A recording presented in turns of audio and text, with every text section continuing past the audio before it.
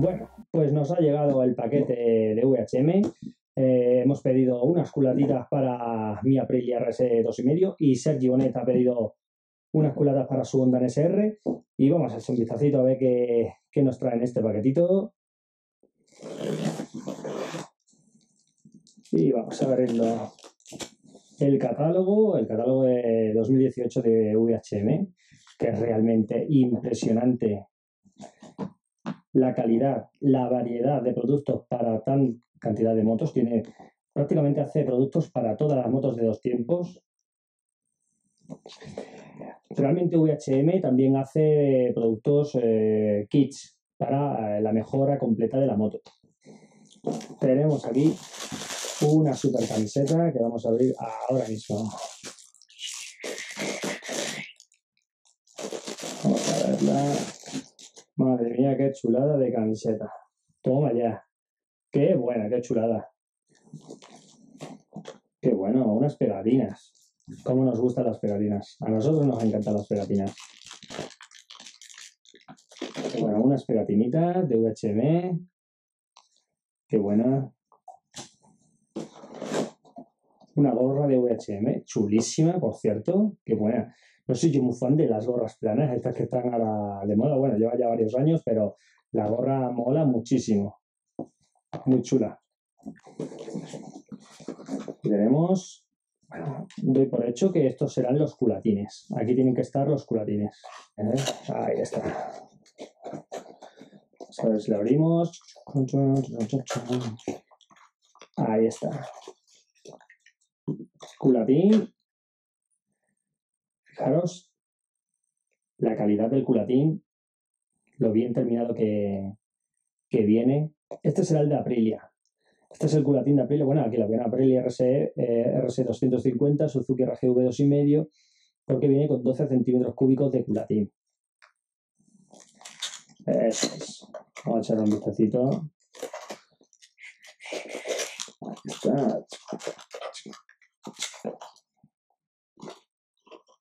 Aquí viene. Los culatines. Este es el de. Este es el culatín de, Aprilia. Y este es el culatín de Honda. Se ve, se ve la, la diferencia entre uno y otro. Y aquí estarán las culatas. Vaya culatitas, vaya juguete para nuestras motos. Esto es una, muy buena manera de, mejorar el potencial de, nuestra, de nuestras motos. Aumenta mucho las prestaciones. Bueno, aquí viene también el, el, catálogo exactamente igual que antes. Un par de pegatinas, las añadimos. Bueno, aquí viene, sobre todo en este papel, lo que viene a decir es, eh, en este caso es el de Aprilia, el de Suzuki RGV, porque tienen diferentes configuraciones. Nosotros hemos cogido la estándar, que es la de 12. Esta es la estándar. Y aquí está, aquí está esta belleza. Esta es la culata, culata culatín, que ahora lo vamos a unir, que eh, tan deseoso estaba de montar en mi Aprilia RS 2,5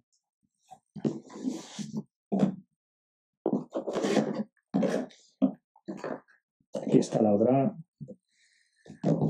La verdad es que es una verdadera maravilla. Y ahora vamos a sacar también las de Honda NSR. Vale, para la Honda solamente hay una configuración. Después explicaremos el por qué. Pero VHM ha hecho eh, muchos estudios también con el tema de la Honda NSR porque todas las motos las prueban y llegan a unas, a unas conclusiones y sacan el, cuál es la mejor configuración para cada tipo de moto. Y aquí tenemos la belleza de las culatas para la Honda NSR. Podéis ver eh, la diferencia entre unas y otras. Estas son las de RGV Aprilia y estas son las de Honda NSR 2,5. Bueno chicos, pues nada, vamos a pasar a explicaros realmente la importancia de las culatas y cómo mejoran estas culatas en las prestaciones de nuestro motor. Bueno chicos, ya hemos visto el unboxing de VHM y ahora os vamos a hablar de las culatas y cómo afectan al rendimiento de los motores de dos tiempos. Eh, hablando un poco de las culatas, pues básicamente hay dos tipos, de una pieza y de dos piezas. En este caso VHM las hace de dos piezas y sobre todo porque eh, tiene tres características importantes que mejoran. En, la primera es mayor refrigeración y bueno, os enseño por ejemplo en esta, en la culata VHM de, de RGV o de Aprilia 2,5, veis el mecanizado de esas bandas, ¿no? Eso es para que llegue el agua perfectamente y mantenga la zona muy bien refrigerada. Bueno, luego por otra parte también eh, podemos tener una amplia... podemos tener diferentes maneras de poder eh, poner a punto nuestra moto. En el caso de, la configuración estándar, el culatín, podemos intercambiarlo. Y bueno, en, este es de 12 centímetros cúbicos y los hay desde 11,8 hasta los 12,6. Eh, de origen, la Aprilia trae 12,8. Así que podéis haceros un poco la idea de cómo mejora el rendimiento de la moto eh, al aumentar la compresión. Eh, y otra de las mejoras es que gracias a esta junta, la junta que viene en el exterior, ya no tenemos que estar cambiando la junta de origen que trae la Aprilia 2.5 o la RGV 2.5 que tiene el mismo motor, y es una junta que tiene unos, unos anillos de metal que cuando tú aprietas la culata pues se adapta a la forma. Pero una vez que desmontas eh, la culata es prácticamente para la basura y tienes que cambiar a otra para hacerlo realmente de manera correcta. De esta manera pues siempre mantenemos la misma junta mientras que mantenga pues un buen, un buen estado y bueno, este tipo de juntas pues te aguanta prácticamente siempre, o sea que no, no, se tiene que estar cambiando. Otro de los puntos importantes es eh, la banda de squeeze. Eh, algunos lo conocéis, bueno, la banda de squeeze es realmente importante y la función que tiene es la de empujar los gases hasta, hacia la cámara de, combustión. lo que hace es favorecer el, movimiento. Y bueno, es, es, prácticamente es la banda que hay justo en el perímetro, ¿vale? Es esta, justo después de la cámara de combustión que está justo en el medio. Bueno, pues esta banda es sumamente importante y mejora eh, sustancialmente el rendimiento de los motores de dos tiempos. En el caso de VHM, de esta, eh, tenemos que mantener, cuando el, pistón está justo en el punto máximo superior, eh, la separación con, con, la banda de squeeze debe de ser de 0,9. Esto se basa mediante las mediciones que ellos han realizado. Cuando bajamos de esta medida, de 0,9, empezamos a entrar en una zona de riesgo en la que pueda originarse eh, autodetonaciones o detonaciones no controladas. ¿Qué significa esto? Esto significa que cuando el, pistón está subiendo, eh, antes de que salte la, chispa de bujía, se produce la ignición de la mezcla, produciendo no tiene por qué producirlo, pero prácticamente es asegurado el que el, pistón vaya a romperse. Posiblemente lo que haga es agujerearse y el motor eh, completamente roto.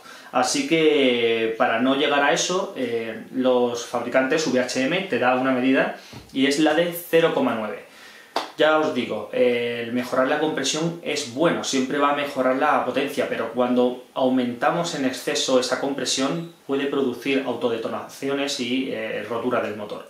Bueno, ¿cómo medimos la banda de squeeze? La banda de squeeze eh, lo hacemos de la siguiente manera.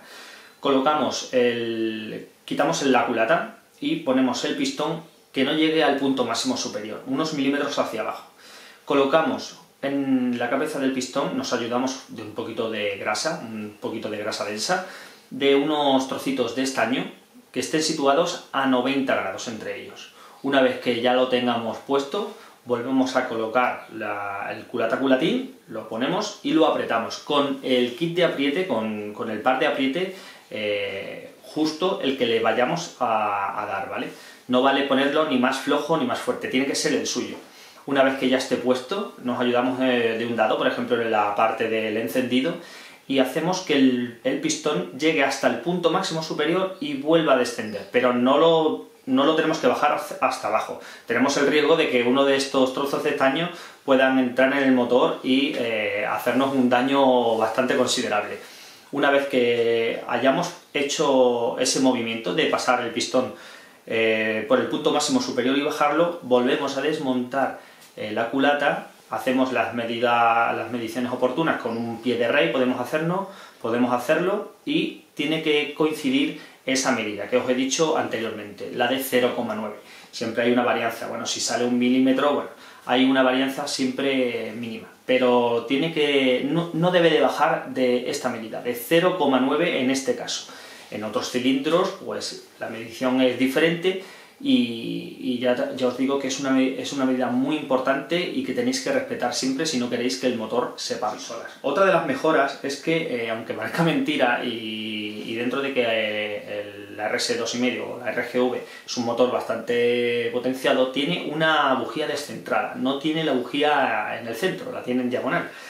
Y esto es algo que también afecta en el rendimiento del motor. Bueno, VHM la ha mejorado y la ha puesto justo en el medio, que es donde realmente se consigue la mayor, la mayor potencia. Gracias a Oscar Moraes, que me ha asesorado un poco a la hora de poner a punto, me ha informado de que la carburación debe de cambiar una vez que monte eh, estas culatas VHM tenemos que pasar eh, de chiclés eh, de origen, creo recordar que viene en 270-280, viene diferente el cilindro de abajo que el cilindro de arriba, eh, los tenemos que pasar prácticamente a 320-330. Estamos hablando de una carburación bastante más rica, para no, para no entrar en una zona peligrosa. yo también es verdad que voy a hacer el, rodaje porque voy a renicasilar los, voy a los cilindros, pistones nuevos, tengo que hacer el rodaje y él ya me ha, dicho que esa es la carburación óptima para poder hacer también el rodaje. Bueno, os vamos a hablar también del culatín de Honda, que en el vídeo anterior, vamos a cogerlo, en el vídeo anterior os comentamos que en el caso del culatín de Honda solamente tiene una medida. Y es este, este es el culatín de Honda NSR. Y bueno, ya os digo que estuvimos hablando con VHM y nos informaron de que tuvieron un contacto con, en Japón para que les eh, facilitaran cierta información. Y después de probarlo en sus bancos de potencia, llegaron a la conclusión de que esta configuración era la mejor para la Honda NSR 2.5. Aún así, eh, VHM da la posibilidad de, poder eh, pedir los culatines sin mecanizar, para que el cliente, una vez que lo reciba, pueda ponerlo a su gusto. Pero este tipo de, ya de, mecanizados, pues lo dejamos a gente realmente entendida, eh, que está muy involucrada en el mundo de la competición. Pero ya os digo que yo os recomiendo que siempre tiréis de medidas estándar o medidas que haya probado VHM directamente. Para finalizar, eh, un poco para que os hagáis la idea, eh, estas culatas, el montaje de este tipo de culatas en vuestras motos puede aumentar mm, considerablemente la potencia de vuestro motor. En el caso también de este tipo de moto, de, la RGV o de la Aprilia, eh, Oscar, que es una persona bastante conoce a fondo esta moto, eh, me dijo que la introducción de las culatas era más importante incluso que la de los escapes. Aún así es un conjunto, ¿eh? las cosas se deben de cambiar en conjunto. Pero estamos hablando de que el rendimiento de nuestro motor puede estar aumentando de un 10 a un 15%, ¿eh? una, una, auténtica pasada. Así que tengo muchísimas ganas de, probarlos. Y, ya os contaré. Eh, ya sabéis que estamos preparando además el casco para poder montarnos encima de la moto y hablar directamente para ir comentando las sensaciones que tienen las diferentes puestas a punto, diferentes motos, diferentes eh, piezas como son las culatas y os vamos a ir comentando cómo, cómo van.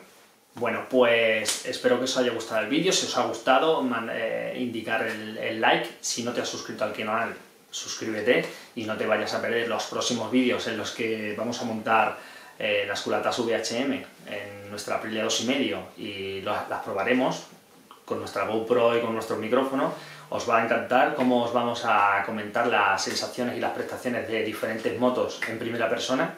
Así que nada chicos, ha sido, chicos, ha sido un placer coincidir con vosotros y que nos vemos en la próxima y ya sabéis, mucho gas.